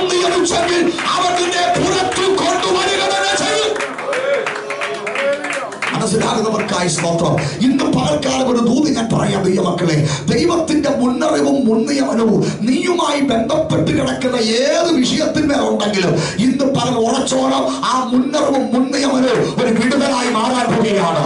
ഒരു ദൈവ പ്രവൃത്തിയായി മാറാൻ പോകുകയാണ്. അതിനുവേണ്ടി അപ്പോസ്ത്ര പ്രവൃത്തി ഒൻപതാം അധ്യായത്തിൽ തമ്പുരാന്റെ നേരിട്ടുള്ള ഒരു ഇടപെടൽ നടക്കുക. ശ്രദ്ധിക്കണം എന്നെ ആ ഭാഗം ആ ഒരുപാട് ചിന്തിപ്പിച്ചു. അപ്പോസ്ത്ര പ്രവൃത്തി ഒൻപതാം അധ്യായത്തിൽ മുന്നറിവുള്ളവനെ മുൻനിയമനമുള്ളവനെ മുന്നറിവും മുൻനിയമനമുള്ള പൗലോസിനെ അപ്പോസ്തല പ്രവൃത്തി ഒൻപതാം അധ്യായത്തിൽ അവൻ വിളിക്കുവാനായി സ്വർഗം അവൻ ചെയ്യുന്ന പരിപാടി നോക്കണേ. കർത്താവ് അവനെ വിളിക്കുന്നത് ഒരു ഉപവാസ പ്രാർത്ഥനയ്ക്ക് ഇരിക്കുമ്പോഴല്ല ഒരു കൺവെൻഷൻ ഇരിക്കുമ്പോഴല്ല. ദൈവജനത്തെ നശിപ്പിക്കുവാനായി പോകുന്ന വഴിയിൽ കർത്താവ് അവന്റെ അടുക്കലേക്ക് ചെന്ന് അവനെ വിളിക്കുക. മനസ്സിലാകുന്നുണ്ടോ? കർത്താവ് അവനെ അടുക്കലേക്ക് ചെന്ന് അവനെ വിളിക്കുക. കാര്യം ഇവരൊരു മീറ്റിംഗിന് വരത്തില്ല. ഇവരൊരു ആരാധനയ്ക്ക് വരത്തില്ല. ഇവരൊരു പ്രസംഗം കേൾക്കാൻ താല്പര്യപ്പെടത്തില്ല. നമ്മൾ ചോദിക്കുന്ന ഇങ്ങനെ പാസ്റ്റർ ഇവൻ പ്രസംഗം കേൾക്കാതെ എങ്ങനെ പുറത്തു വരും? ഇവൻ വചനം കേൾക്കാതെ എങ്ങനെ വിടിവിക്കപ്പെടും? എന്നാൽ ഇന്ന് പകലൊരു ഞാൻ പറയാം. മുന്നറിവും മുൻനിയമനവും ഉണ്ടെങ്കിൽ അവർ ഇരിക്കുന്ന സ്ഥലത്ത് വെച്ച് അവരെ പൊക്കാൻ എന്റെ ദൈവം കരുത്തുള്ളവനാണെന്ന് വിശ്വസിക്കുന്നവർക്കായി ഞാൻ ദൈവത്തിന് സ്വന്തം ചെയ്യുന്നു. മനസ്സിലാകുന്നു നിങ്ങൾക്ക്? ഭൂതം മനസ്സിലാകുന്നു. ഇച്ചിരി കട്ടിയോടെന്ന് എനിക്കറിയാം. കഴിഞ്ഞ ദിവസത്തെ പോലെ ലളിതമല്ലെന്ന് എനിക്കറിയാം. ഇതെനിക്ക് ഇങ്ങനെ ഇത് പ്രസംഗിക്കാൻ പറ്റത്തുള്ളതും അറിയാം. മാറിക്കോളും. മാറി വ്യത്യാസം ഉണ്ടായിക്കോളും. അത് എന്ന് പറഞ്ഞുകൊണ്ട് അവ അത്രയും ലളിതമായി പോകാനും കഴിയത്തില്ല. പ്രസംഗിക്കാതിരിക്കാനും കഴിയത്തില്ല. കാര്യം അത്രയ്ക്ക് പ്രാധാന്യമുള്ള വിഷയമാണ്. ഹല്ലേലൂയ എന്റെ പിതാവ് ഒരു കഥദാസനായിരുന്നു. എന്നാൽ ഒരു ദൈവദാസനെ യാതൊരു സ്വഭാവവും തന്റെ മകനായി എന്നിലില്ലായിരുന്നു. രണ്ടായിരത്തി ഒന്നിൽ ഞാൻ വീട് വിട്ടു പോകുമ്പോൾ എന്റെ അപ്പനെ നോക്കി അവസാനം പറഞ്ഞൊരു കാര്യമാണ്. എന്റെ പൊന്നപ്പ. എന്നെ പാസ്സാക്കാൻ നോക്കി നിങ്ങൾ ഊപ്പാട് വരുത്തുകയുള്ളൂ എന്നെ പാസ്സാക്കാൻ നോക്കിയതൊന്നും ഞാൻ പാസ്സാകത്തില്ല. ഒരു കാര്യം ഞാൻ അപ്പനോട് പറയുക തെണ്ടാൻ പോയാലും പാസ്സാകുമെന്ന് ചെയ്യണ്ട ചിന്തിക്കണ്ട. തെണ്ടാൻ പോയാലും പാസ്സാകുമെന്ന് ചിന്തിക്കേണ്ടത് പറഞ്ഞു രണ്ടായിരത്തി ഒന്ന് വീട് വിട്ട് ബോംബെയിലും ഗുജറാത്തിലും അവൻ കറങ്ങി നടന്ന എന്നെ അവൻ രണ്ടായിരത്തി നാലിൽ പിടിച്ചു അവനെ പാസ്സാക്കിയ കാര്യമെന്ന് അറിയാമോ എന്റെ പേരൊരു മുൻനിയമനം കിടപ്പുണ്ട്. എന്റെ പേരൊരു മുന്നറിവ് കിടപ്പുണ്ട്. അതിനെ തകർക്കാൻ എനിക്ക് പറ്റത്തില്ല. അതിനെ തകർക്കാൻ മറ്റൊരുവന് വഴിയെത്തില്ല ഞാൻ ഇന്ന് പകൽ നിങ്ങൾ പറഞ്ഞ ദൂത് എത്ര പേർക്ക് മനസ്സിലാകും എനിക്ക് അറിയത്തില്ല അവൻ ഈ പറഞ്ഞ വെളിപ്പാടിന്റെ ആത്മാവിനൊന്നും നിങ്ങൾ കയറി വരണം. അവൻ ക്രിസ്ത്യൻ അസംബ്ലിയെ കുറിച്ച് ഇത് പുറത്തു വരുന്നതിന് മുമ്പേ ഇതിനെ കുറിച്ച് ഒരു മുന്നറിവും ഒരു മുൻനിയമനവും ഈ മുന്നറിവും മുൻനിയമനത്തെ പൊട്ടിക്കാൻ ഈ ഈ ഭൂമിയിൽ കരുത്തുള്ള ഒരുത്തരുമില്ല. മനസ്സിലാകുന്നവർക്കായി ഞാൻ ദൈവത്തിന് സ്വന്തം ചെയ്യുന്നു. ഹല്ലേലൂയ. അവൻ ശ്രദ്ധിച്ചു കിടക്കണം സഹോദരങ്ങളെ. അവൻ നമ്മൾ പലരും പറഞ്ഞിട്ടില്ലേ അത് ഞാൻ ഈ കൂട്ടത്തിനകത്ത് വരുത്തില്ല. എന്നെ കൂട്ടത്തിനകത്ത് വിളിക്കുകയും വേണ്ട. ഞാൻ വരാൻ പോകുന്ന ഉപദേശി വെറുതെ സംസാരിച്ച് തൊണ്ടയിലെ വെള്ളം കളയണ്ട. വെറുതെ നടന്ന് നടന്ന് കാലിലെ ചെരുപ്പ് തേക്കണ്ട. എന്നെ കിട്ടത്തില്ല. ഞാൻ ഒന്ന് സ്നാനപ്പെട്ടതാ. ഇനി ഒട്ട് സ്നാനപ്പെടാൻ എനിക്ക് എന്തില്ല? മനസ്സില്ല. ഞാൻ ഒന്ന് സാരപ്പെട്ടതാ ഇനി എനിക്ക് സാരപ്പെടാൻ മനസ്സില്ല. അതുകൊണ്ട് എന്നെ കിട്ടത്തില്ലെന്നൊക്കെ അവ വീരവാദം മുടക്കിയ നമ്മളെ തമ്പുരാൻ കുഞ്ഞാടികളാക്കി മാറ്റി പിടിച്ചുകൊണ്ട് വരാൻ കാര്യമെന്ന് അറിയാമോ? അവൻ നീ ചൊരിക്കുന്നതിന് മുമ്പേ നിന്നെ കുറിച്ച് എഴുതിയ ഒരു രേഖയുണ്ടെന്ന് മനസ്സിലാകുന്നവർക്കായി സ്വന്തം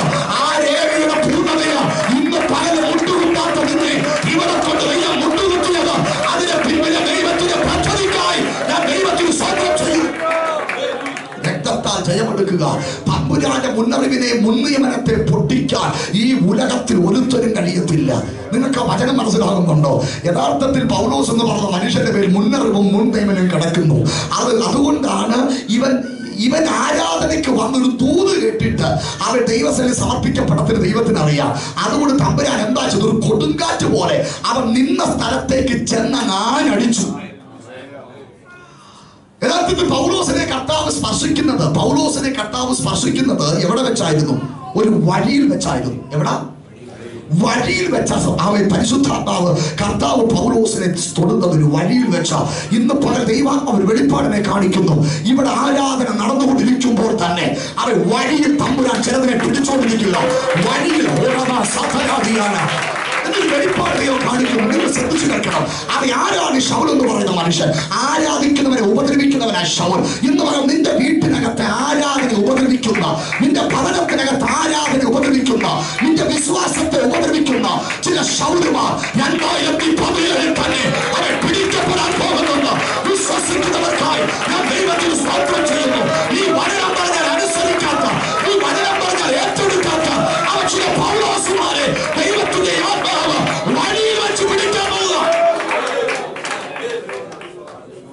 മനസ്സിലാകുന്നുണ്ടോ?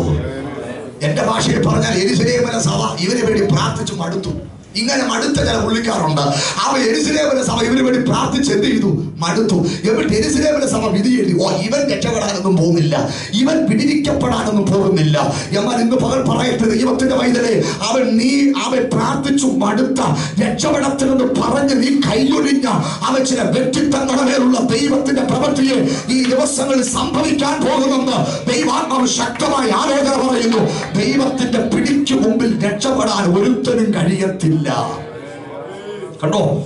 അപ്പൊ മുന്നറിവുള്ളവനെ മുൻനിയമനമുള്ളവനെ മുപ്പത്തിരണ്ടാമത്തെ വയസ്സിൽ അപ്പോസ്തല പ്രവൃത്തി ഒൻപതാമത്തെ അധ്യായത്തിൽ അവൻ നിൽക്കുന്ന സ്ഥലത്തേക്ക് കർത്താവ് ചെന്ന് അവനെ വിളിച്ചു. ഒരാമയം പറഞ്ഞാട്ടെ? ഒരാമയം പറഞ്ഞാട്ടെ?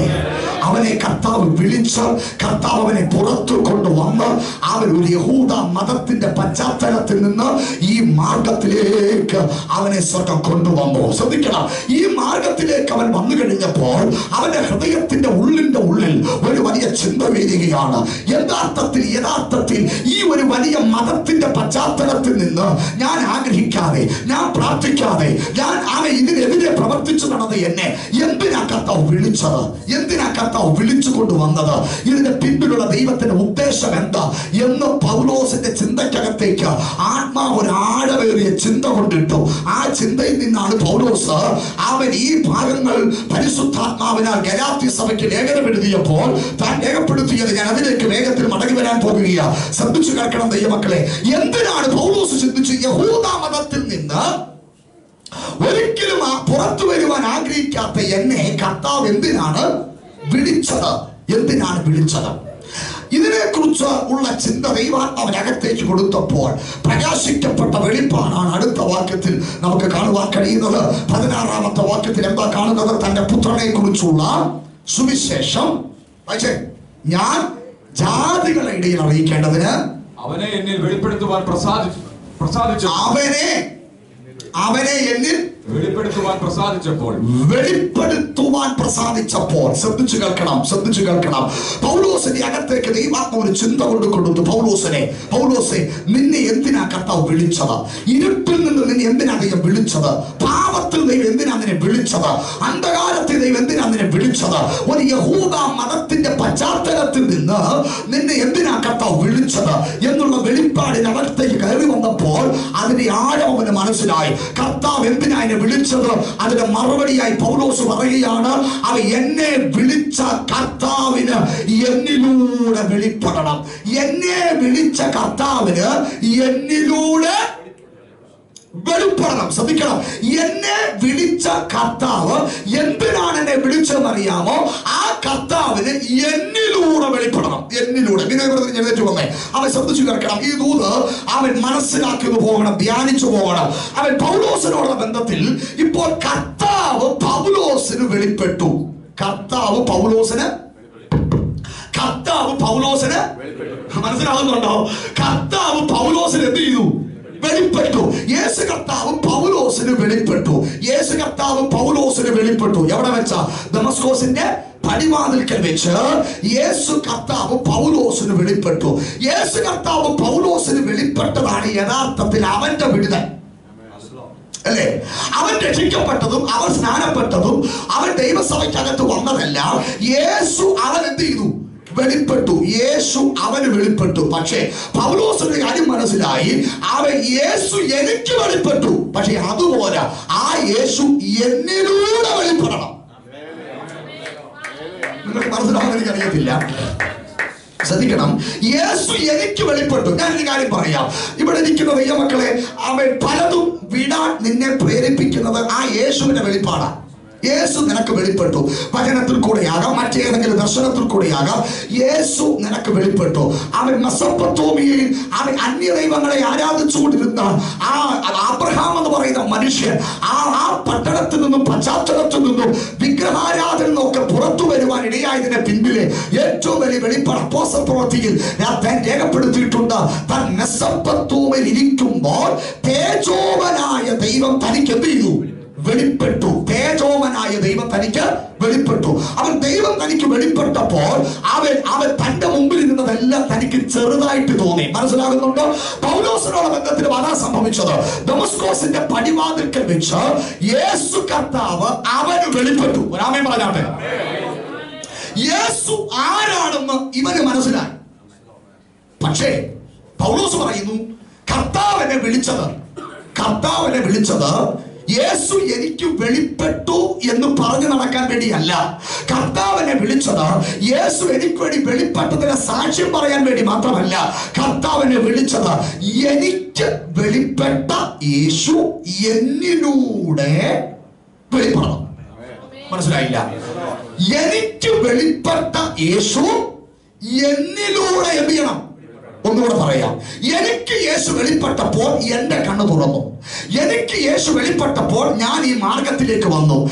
എനിക്ക് യേശു വെളിപ്പെട്ടപ്പോൾ ഞാൻ സത്യവചനത്തെ അനുസരിക്കുവാനായി തുടങ്ങി. പക്ഷേ ഈ യേശു എന്നിലൂടെ വെളിപ്പെട്ടാൽ എന്നിലൂടെ വെളിപ്പെട്ടാൽ എന്നിലൂടെ വെളിപ്പെട്ടാൽ എഫസോസ് എന്നാൽ വിടുവിക്കപ്പെടും. എന്നാൽ വിടുവിക്കപ്പെടും. അല്ലെങ്കിൽ എന്നാൽ വിടുവിക്കപ്പെടും. ചില പട്ടണങ്ങളെ വിടുതലിന് വേണ്ടി ഇന്ന് പല സ്വർഗമായിരിക്കുന്നു അവൻ നിന്നിലൂടെ ഈ യേശു എന്ന് വെളിപ്പെടാം. ഞാൻ ഒരു കാര്യം ചോദിക്കട്ടെ? പൗലോസിന് കർത്താവ് വെളിപ്പെട്ടു. പൗലോസിന് കർത്താവ് വെളിപ്പെട്ടു. പക്ഷെ അവനിലൂടെ യേശു എന്ത് അവനിലൂടെ വെളിപ്പെട്ടില്ല. യേശു അവന് വെളിപ്പെട്ടു. അവന് വെളിപ്പെട്ടപ്പോൾ അവൻ കർത്താവിന്റെ സാക്ഷിയായി. അവൻ കൊരിന്തിൽ ചെന്നാലോ എഫസോസിൽ ചെന്നാലോ ഫിലിപ്പിയിൽ ചെന്നാലോ ഒരു ദൈവപ്രവൃത്തി നടക്കത്തില്ല. ഒരു സാക്ഷ്യം പറഞ്ഞിരിക്കാമെന്നേ ഉള്ളൂ. ഇന്ന് നമ്മൾ പറയുന്ന സാക്ഷ്യം പറയുന്നത് യേശു നമുക്ക് വെളിപ്പെട്ട കഥയാണ് എന്നാൽ എഫസോസിന്റെ ആധിപത്യം പൊട്ടണമെങ്കിൽ ഫിലിപ്പിയുടെ ആധിപത്യം പൊട്ടണമെങ്കിൽ എനിക്ക് വെളിപ്പെട്ട ആ യേശു എന്നിലൂടെ വെളിപ്പെടണം. അവിടെ പറഞ്ഞാൽ എനിക്ക് യേശു വെളിപ്പെട്ടപ്പോൾ എന്റെ വിടുതൽ നടന്നു. എങ്ങനെയാ പറഞ്ഞു കൊടുക്കുന്നത് എനിക്ക് യേശു വെളിപ്പെട്ടപ്പോൾ എന്റെ വിടുതൽ യേശു എനിക്ക് വെളിപ്പെട്ടു. ഹലോ യേശു എനിക്ക് ഇതിൽ ലളിതമാക്കി എനിക്ക് അറിയത്തില്ല. യേശു എനിക്ക് വെളിപ്പെട്ടു. യേശു എനിക്ക് വെളിപ്പെട്ടത് കൊണ്ടാ ഡെമസ്കോസിന്റെ പടിവാതിക്കൽ നിന്ന് ഞാൻ എനിക്കൊരു മാറ്റം ഉണ്ടായത് ഞാൻ പിന്നെ യഹൂദാമതത്തിൽ പോകാതെ ദൈവ ആരാധിക്കുന്ന ദൈവജനത്തോട് കൂടെ ചേർന്നത് യേശു എനിക്ക് എന്ത് ചെയ്തു? വെളിപ്പെട്ടത് കൊണ്ടാ. അത് ശ്രദ്ധിക്കണം യേശു എനിക്ക് വെളിപ്പെട്ടത് എന്റെ വിടുതലായി മാറി എന്റെ വിടുതലായി മാറി എന്റെ ആത്മീക വിടുതലായി മാറി. പക്ഷെ നിന്നിലൂടെ ആ ദൈവപ്രവൃത്തി ഇനി നടക്കണമെങ്കിൽ നിന്നിലൂടെ ആ വിടുതൽ തുടരണമെങ്കിൽ നീ പോകുന്നിടത്തും സംസാരിക്കുന്നിടത്തും ട്രാക്ട് കൊടുക്കുന്നിടത്തും കാലി വെക്കുന്നിടത്തും അത്ഭുതകരമായ ചരിത്രപരമായ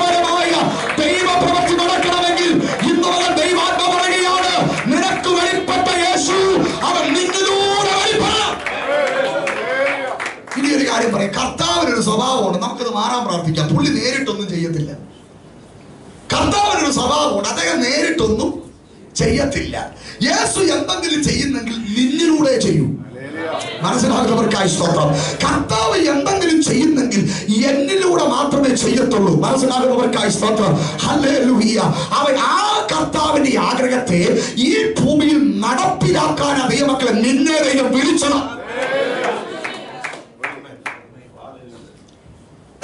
നിങ്ങൾക്ക് മനസ്സിലാകുന്നുണ്ടോ? നിങ്ങൾ ഇരുന്ന സ്ഥലത്തേക്ക് ഇറങ്ങി വന്ന് കർത്താവ് നിങ്ങളെ വിളിച്ചത് കർത്താവ് നിങ്ങളെ വിടിവിച്ചത് നിങ്ങൾക്ക് രോഗസൗഖ്യം തന്നത് നിങ്ങൾ ശ്രദ്ധിക്കണം ഈ യഥാർത്ഥത്തിൽ പൗലോസിനെ കർത്താവ് പൗലോസിനെ വിളിക്കുന്ന ഭാഗത്ത് ഏകദേശം മൂന്ന് ദിവസമായി ഒരു ഐസിയുവിന്റെ ലെവലില്ല പൗലോസ് കിടക്കുന്നത്. ഒരു ഐസിയുവിന്റെ ലെവലില്ല കണ്ണും കാണാൻ പറ്റത്തില്ല കഴിക്കാനും കിട്ടത്തില്ല കുടിക്കാനും പറ്റാത്ത ഒരു ഐസിയുവിന്റെ ആ ഐസ്യുവിനകത്ത് കിടക്കുന്ന ഒരു മനുഷ്യനെ പോലെ പൗലോസ് കിടക്കുന്നത്. എന്നാൽ അതിൽ നിന്നൊക്കെ ദൈവം അവനെ പിടിവിച്ചു. പുറത്തു കൊണ്ടുവന്നു. നഷ്ടപ്പെട്ടു പോയ കാഴ്ച ദൈവം എന്ത് ചെയ്തു? മടക്കി കൊടുത്തു. ഇത്രയും കാര്യങ്ങളൊക്കെ കർത്താവ് അവന് വേണ്ടി ചെയ്തു. എന്നാൽ ഇവൻ പ്രയോജനമുള്ളവനായി മാറിയത് എപ്പോൾ ദൈവ മക്കളെ. കാഴ്ച കിട്ടിയതോടു കൂടെയല്ല അവൻ കേൾവി കിട്ടിയതോടു കൂടെയല്ല ആഹാരം കിട്ടിയതോടു കൂടെയല്ല ഇവന് വെളിപ്പെട്ട യേശു ഇവനിലൂടെ വെളിപ്പെടാൻ എപ്പോൾ മുതൽ തുടങ്ങിയോ? അപ്പോൾ മുതൽ അസാധാരണ ദൈവപ്രവർത്തികൾ നടന്നു. മനസ്സിലാകുന്നവർക്കായി സ്തോത്രം. ഒന്നുകൂടി ഈ ഭാഗം ലളിതമാക്കാം. അപ്പോൾ അപ്പോസ്തല പ്രവൃത്തിയിലേക്ക് അവർ ഒന്നുകൂടെ മടങ്ങി വന്നാട്ടെ. അപ്പോസ്തല പ്രവൃത്തി എട്ടാമത്തെ അധ്യായം അഞ്ചാമത്തെ വാക്യത്തിലേക്ക് വന്നാട്ടെ. അപ്പോസ്തല പ്രവൃത്തി എട്ടാമത്തെ അധ്യായം അഞ്ചാം വാക്യം മുതൽ വേഗത്തിൽ ഒന്ന് വായിച്ചാട്ടെ. ഫിലിപ്പോസ് ഫിലിപ്പോസ് ശമരിയ പട്ടണത്തിൽ ചെന്ന് അവരോട് ക്രിസ്തുവിനെ പ്രസംഗിച്ചു.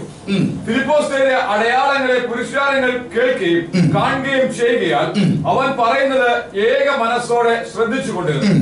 അശുദ്ധാത്മാക്കൾ ബാധിച്ച പലരിൽ നിന്നും അശുദ്ധാത്മാക്കൾ ബാധിച്ച പലരിൽ നിന്നും അവ ഉറക്ക നിലവിളിച്ചുകൊണ്ട് പുറപ്പെട്ടു. ഉറക്ക നിലവിളിച്ചുകൊണ്ട് പുറപ്പെട്ടു.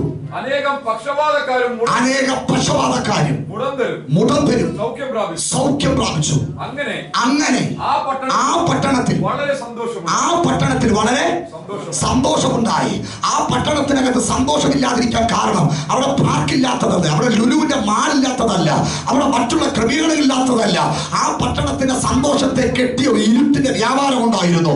ഒരു അശുദ്ധാത്മാവിന്റെ വ്യാപാരം ഉണ്ടായിരുന്നു ശ്രദ്ധിക്കണം. ഫിലിപ്പോസ് എന്ന് പറഞ്ഞ മനുഷ്യനായ ഒരു സുവിശേഷകനാ. ഒരു സജീവദേശീയ ഈ സജീവദേശിയായ സുവിശേഷകനായ ഈ മനുഷ്യൻ ശബരിയ പട്ടണത്തിൽ ചെന്നപ്പോൾ എന്താ സംഭവിച്ചെന്നറിയാമോ? അന്ധകാരത്തിന്റെ ശക്തികൾ ഇളകി മാറി. പട്ടണം വിടുവിക്കപ്പെട്ടു. എന്താ കാര്യമെന്നറിയാമോ? അവൻ ഫിലിപ്പോസിലൂടെ യേശു വെളിപ്പെട്ടു. മനസ്സിലാകുന്നുണ്ടോ? ഫിലിപ്പോസിലൂടെ യേശു വെളിപ്പെട്ടു. ഇനി തമ്പുരാന് വേണ്ടിയത് ബി ടി എച്ച് ഹോട്ടറിനെയും എം ടി എച്ച് ഹോട്ടറിനെയും ഒന്നുമല്ല തമ്പുരാന് വേണ്ടിയത്. എവിടെങ്കിലും പോയി കാശ് കൊടുത്ത് ഓർഡിനേഷൻ മേടിച്ച ഞെരുങ്ങിയിരിക്കുന്നവരെ ദൈവത്തിന് വേണ്ടിയത്. ഈ തലമുറയിൽ ദൈവം എഴുന്നേൽപ്പിക്കാൻ പോകുന്ന ആരെയും അറിയാമോ? യേശു വെളിപ്പെടുന്ന ഒരു തലമുറയെ. യേശു വെളിപ്പെടുന്ന ഒരു തലമുറയെ. അത് കുമ്പനാട് പോയിരുന്നു നിരങ്ങി. അവൻ മുളക്കര പോയിരുന്നു നിരങ്ങി. എവിടെങ്കിലും പോയിരുന്നു നിരങ്ങി. കാശ് കൊടുത്ത് പേരിന് മുമ്പിൽ പാസ് കിട്ടിയ. നീ ഉപയോഗിക്കപ്പെടത്തില്ല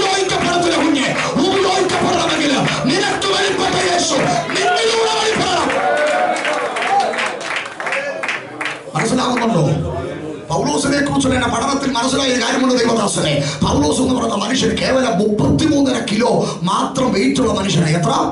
മുപ്പത്തിമൂന്നര കിലോ വെയിറ്റ് ഉള്ള മനുഷ്യൻ എന്ന് വെച്ചാൽ എത്ര അവ എത്രയുണ്ട്? അവ എന്റെ നേരെ പകുതി എന്റെ നേരെ പകുതി ഭാരം. മുപ്പത്തി മൂന്നര കിലോ വെയിറ്റ് അവൻ ഉയരം അറിയാമോ നാലര അടി ഉയരം. എന്ന് വെച്ചാൽ ഇവിടം വരെ കാണും. എന്റെ ഈ ഭാഗം വരെ കാണും. നാലര അടി ഉയരം. മുപ്പത്തി മൂന്നര കിലോ വെയിറ്റ് ഇനി തല അവൻ അവൻ തല മുതൽ കാൽപാദം വരെ വീക്ഷിച്ചാൽ അവൻ ചരിത്രത്തിൽ രേഖപ്പെടുത്തിയിരിക്കുന്ന ഭാഗങ്ങളാ അവൻ കഷണ്ടി ആക്രമിച്ച ശിരസ് തലയിലെ ഒരു പൊടി രോഗം പോലുമില്ല കഷണ്ടി ആക്രമിച്ച ശിരസ് ഇനി താഴോട്ട് വരുമ്പോഴോ തന്റെ മൂക്ക് അല്ലെങ്കിൽ നാസിക അത് മുമ്പോട്ട് നീണ്ട് അകത്തോട്ട് വളഞ്ഞിരിക്കുന്നു. ഇനി താഴോട്ട് വരുമ്പോഴോ തന്റെ കാലുകൾക്ക് ചെറിയൊരു വളവുണ്ട്. അവൻ വേദപുസ്തകത്തിൽ താൻ പറയുന്നു അവൻ ഞാൻ വാക് സാമർഥ്യം ഇല്ലാത്തവനെങ്കിലും ഞാൻ പരിജ്ഞാനം ഇല്ലാത്തവൻ അല്ല. അപ്പൊ തനിക്ക് എന്തില്ല വാക് സാമർഥ്യം ഇല്ല നിങ്ങളൊന്ന് ശ്രദ്ധിക്കണം. മുപ്പത്തി മൂന്നര കിലോമീറ്റർ നാലരയടി ഉയരം കഷണ്ടി ആക്രമിച്ച ശിരസ് മുമ്പോട്ട് നീണ്ട് അകത്തോട്ട് വളഞ്ഞ മൂക്ക് അവൻ വളഞ്ഞ കാൽ. ഇങ്ങനൊരു മനുഷ്യനാ ഇന്നിവിടെ പ്രസംഗിക്കാൻ നിൽക്കുന്നെങ്കിൽ നിങ്ങൾ. മനസ്സിൽ പറയും അയ്യേ ഇവനെ ആരാടാ വിളിച്ചത്? മനസ്സിലാകുന്നത് കാണാൻ ഒരു ഗ്രാമറും ഇല്ല ഒരു ഗ്രാമറും ഇല്ല. ഇവൻ ആരാ വിളിച്ചത്? അവൻ കണ്ടാൽ ഒരു ശോഭയും ഇല്ലാത്തവൻ വാ സാമർഥ്യമില്ലാത്തവൻ നിങ്ങളൊന്ന് ശ്രദ്ധിച്ചു കേൾക്ക് ദൈവത്തിന്റെ മക്കളെ. അവ ഇരുന്നൂറ് വർഷങ്ങൾ കൊണ്ട് അവൻ കൊത്തുപടിയാൽ കൊത്തുപടിതെടുത്ത അവൻ ശരീരം മുഴുവൻ സ്ഥലങ്ങളാൽ അവൻ സ്ഥലങ്ങളാൽ നിർമ്മിക്കപ്പെട്ട അത്തവീസിന്റെ പ്രതിഷ്ഠ വെച്ചിരുന്ന എപ്പസോസിനവൻ ഈ മനുഷ്യൻ കാലി വെച്ചപ്പോൾ സന്തൽ ഈ മനുഷ്യൻ കാലി വെച്ചപ്പോൾ അത്തവീസിനെ ഏർപ്പാടി. രക്തത്താൽ ജയമെടുക്കുന്ന നാളുകളായി പറഞ്ഞ് ജനത്തെ വശീകരിച്ച വെളിച്ചപ്പാടത്തുള്ള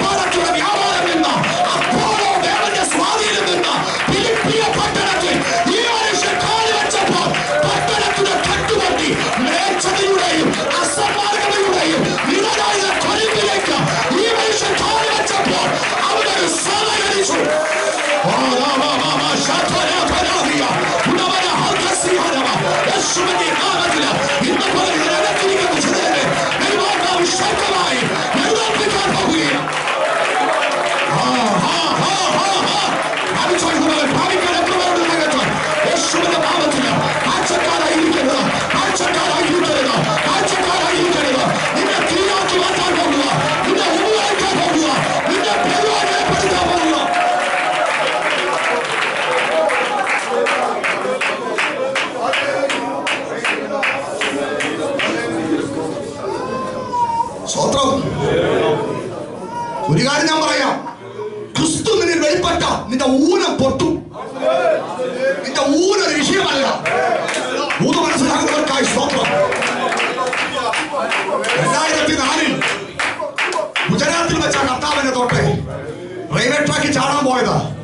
അപ്പോൾ എന്റെ അപ്പൻ കൺവെൻഷൻ വേദികളിൽ പ്രസംഗിക്കുക. കണ്ടാൽ തനി വട്ടൻ തനിമുടി വളർത്തി താടി വളർത്തി തനി ഭ്രാന്തനായി മാറി എന്നെ.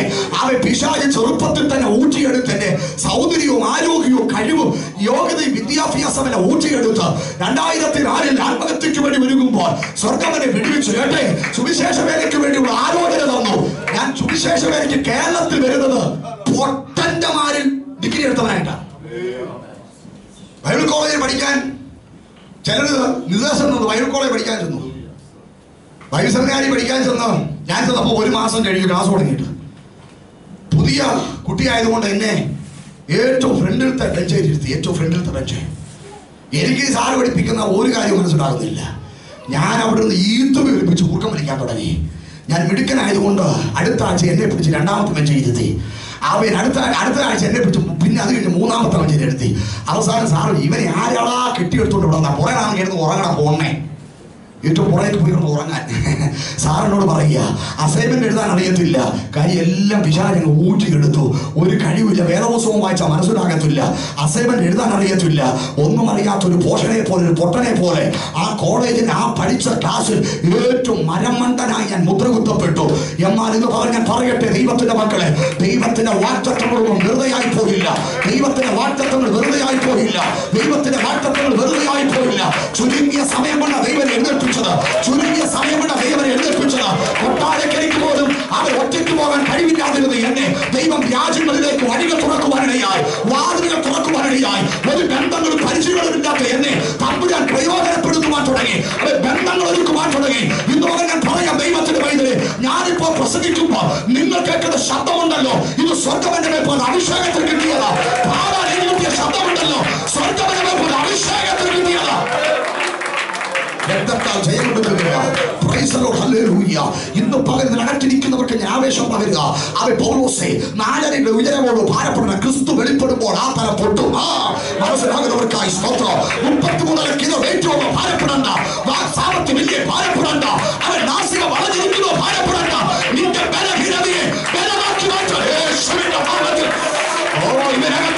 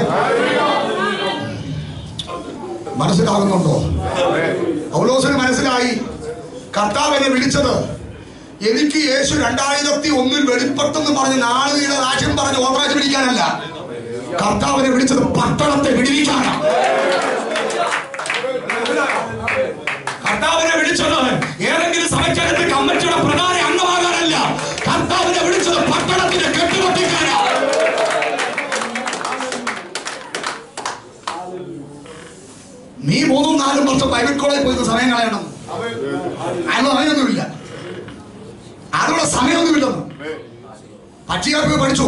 വേണമെന്ന് ഞാൻ പറയത്തില്ല. എന്റെ കൂടെ വായുക്കോടെ പഠിച്ച എത്ര പേർക്ക് ഇന്നും പുസ്തകം അറിയത്തില്ല? ഇത് പെയിന്റ് അടിക്കാൻ പോകുന്ന എത്ര പേരുണ്ട്?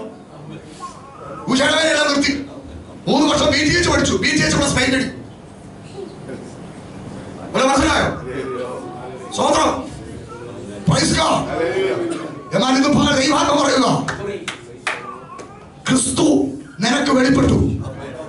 ആ ലെവലിലേക്ക് ഇപ്പൊ എന്നാൽ അടുത്ത ലെവലോട്ട് കയറാൻ ക്രിസ്തു നിനക്ക് വെളിപ്പെട്ടു. ആ ലെവലിൽ ഇരിക്കുക ക്രിസ്തു എനിക്ക് എന്ത് ചെയ്തു കഴിച്ച വെളിപ്പെട്ടു. ക്രിസ്തു എനിക്ക് എന്ത് ചെയ്തു? വെളിപ്പെട്ടു. അതുകൊണ്ട് എന്താ അവിടെ ബെന്തക്കോസിനായി ആർക്ക്?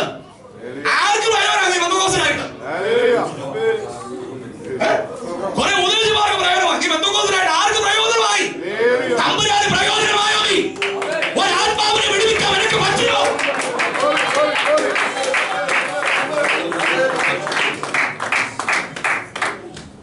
സഭയില്ല ഇതവിടെ കൊണ്ടു അറിയത്തില്ല. സ്വത്രം മനസ്സിലായി ഇങ്ങനെ പോയാ പോരാ. ഇങ്ങനെ പോയാ പോരാ. എന്നെ കർത്താവ് ഇത്രയും വില കൊടുത്ത് വിളിച്ചത്. ഏ? എന്റെ കുടുംബത്തിൽ വേറെ ആരും ഇല്ലെങ്കിട്ടല്ല എന്തോ ഒരു പദ്ധതി ഉണ്ട് അതിതാ യേശു എന്നിലൂടെ എന്ത് ചെയ്യണം? ഇത് മനസ്സിലാക്കിയപ്പോഴത്തേക്ക് പുള്ളി എന്ത് ഒറ്റ പോക്ക് പോയി അത് പ്രസംഗിക്കണം ഒരു രണ്ട് ദിവസം. ഒരൊറ്റ പോക്ക് പോയി പുള്ളി.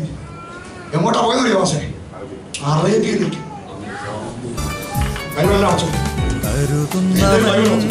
ഞാനല്ലയോ? കലങ്ങുന്നതെന്തിനു നീ? കരുതുന്നവൻ ഞാനല്ലയോ? കലങ്ങുന്നതെന്തിനു നീ? കണ്ണുനീരിന്റെ താഴ്വരയിൽ കൈവിടുകയില്ല ഞാൻ നിന്നെ. കണ്ണുനീരിന്റെ താഴ്വരയിൽ കൈവിടുകയില്ല